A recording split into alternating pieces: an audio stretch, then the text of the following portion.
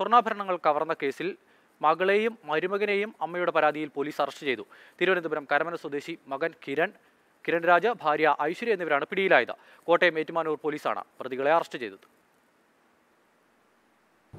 ഓണാവധിക്ക് ഏറ്റുമാനൂർ പേരൂരിലെ കുടുംബ വീട്ടിലെത്തിയ ഐശ്വര്യ ഭർത്താവുമായി ചേർന്ന് അമ്മയുടെ പത്ത് പവൻ ആഭരണങ്ങൾ മോഷ്ടിക്കുകയായിരുന്നു.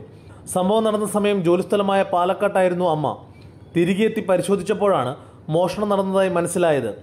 വീട്ടിലുണ്ടായിരുന്നവരെ ചോദ്യം ചെയ്ത സമയത്ത് തന്റെ അച്ഛൻ സ്വർണമെടുക്കാൻ സാധ്യതയുണ്ട് എന്ന് പറഞ്ഞ് ഐശ്വര്യ പോലീസിനെ തെറ്റിദ്ധരിപ്പിക്കുവാനും ശ്രമിച്ചു. അന്വേഷണ സംഘം നടത്തിയ ശാസ്ത്രീയ പരിശോധനയിൽ സ്വർണം മോഷ്ടിച്ചത് മകൾ തന്നെയാണെന്ന് വ്യക്തമായി. സ്വർണം പണയം വെച്ചതിന്റെ രേഖകളും പോലീസിന് കിട്ടി. യുവതിയുടെ ഭർത്താവിന്റെ വീട്ടിൽ നിന്നും കണ്ടെടുത്ത പത്ത് പവൻ സ്വർണത്തിൽ അഞ്ച് പവൻ മുക്കുപണ്ടമാണെന്ന് പരിശോധനയിൽ വ്യക്തമാവുകയും ചെയ്തു. മോഷ്ടിച്ച സ്വർണത്തിന് പകരം മുക്കുപണ്ടം വെച്ച് തെറ്റിദ്ധരിപ്പിക്കുവാനും പ്രതികൾ ശ്രമിച്ചു. Ettumanoor S HO Rajesh Kumar S A Stanley എന്നിവരുടെ നേതൃത്വത്തിലുള്ള സംഘമാണ് പ്രതികളെ പിടികൂടിയത്. ഇരുവരെയും കോടതിയിൽ ഹാജരാക്കി റിമാൻഡ് ചെയ്തു. മാതൃഭൂമി ന്യൂസ് കോട്ടയം.